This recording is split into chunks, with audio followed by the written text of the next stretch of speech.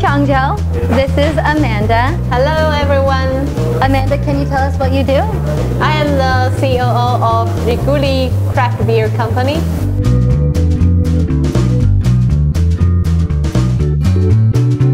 Can you tell us what made you make a beer for Changzhou? And firstly, I love beer, and secondly, I love Changzhou. So Don't we I all? made this beer.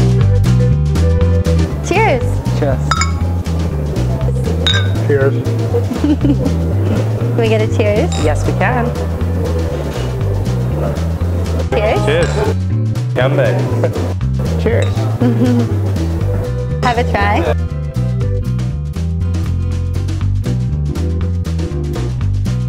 And when you're ready, you can tell us what you think. Hmm. It reminds me of summer. Instantly delectable. So this does not taste like your average wheat beer. This tastes more like, you know, American craft beer wheat Okay. beer. Yeah. Refreshing. I think it's really nice.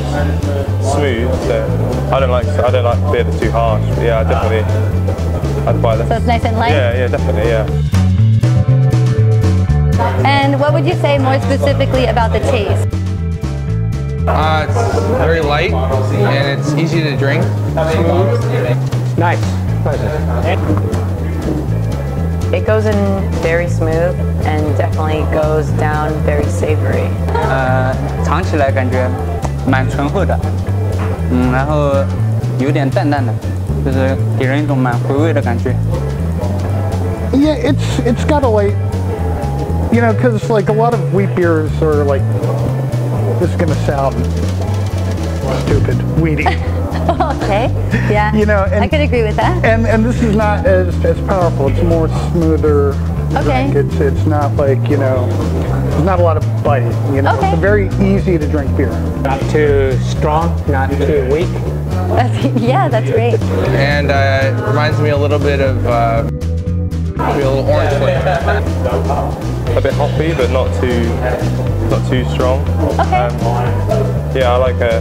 I'm not someone who likes a too strong a beer, so it's like Okay. an IPA, but maybe a bit IPA, but not too harsh. Right now, I think that you only have one flavor. Is that correct? Right. This flavor is uh, urban wheat beer. Yeah. Uh, maybe later on we will have other flavors like uh, IPA or other things. Yeah. would you say that this beer tastes like Cham Well, I've only been there for a week. It's quite hot lately, and this is a tastes like a great beer to quench your thirst on a hot day. Just Changzhou with them. Changzhou's not like any other city, and this is not like any other Chinese beer. Uh, when I think of Chongzhou, now I will think of the taste of this beer. it's a nice beer. I, I, I, don't know much about Chongzhou, so I would say it tastes like Xinbei in Changzhou. Wow. As you were pointing there, I see that there's a city view on the bottle. Right. We have Tianning Temple, and what are the other things? Uh, it's meter tower and the government building. Yeah. And the big lotus flower. Right. Awesome. Wait, what? Oh my God. Okay. no, it's just, I think that's at Maze, isn't it? Yeah. Well, no, it's it, then I actually I'm like, oh, me, yeah, no, wait, no, I do know that guy. I think. Do I? Yeah, it's Christian. It's her husband. I see on the back of the bottle here there are photos of people.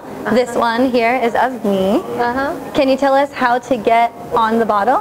We have a Taobao store on the internet, and you can send us um, pictures, and uh, we will customize your own beer.